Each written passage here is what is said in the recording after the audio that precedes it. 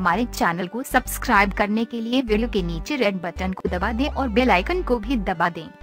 बाहुबली दो को विदेशी समीक्षकों ने फ़िल्म देख ली है और इसका रिव्यू भी दे दिया है। अब बस एक दिन बाद ही दर्शकों का इंतज़ार खत्म हो जाएगा। फ़िल्म की पहली समीक्षा सामने आई है। दुबई में बाहुबली दो की स्पेशल स्क्रीनिंग रखी गई थी। वहाँ फ़िल्म के कलाकार प्रभास और अनुष्का भी मौजूद थे। यूएई के फ़िल्म समीक्षक उमेर संधू ने फ़िल्म की पहली समीक्षा की और ट्विटर पर अपने विचार शेयर भी किए।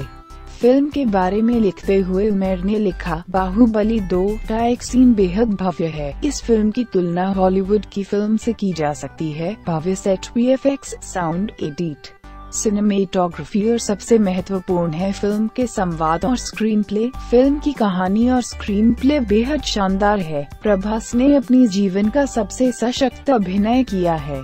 फ़िल्म के दूसरे एक्टर्स जैसे अनुष्का और तमन्ना ने भी बेहद अच्छा काम किया है। फ़िल्म में किटप्पा का रोल निभाने वाले सत्यराज से भी उमेर काफ़ी खुश नज़र आए। फ़िल्म को उमेर ने पाँच में से पाँच स्टार दिए हैं।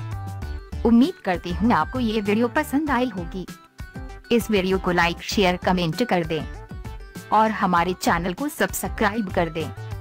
वीडियो देखने के लिए धन्यवाद।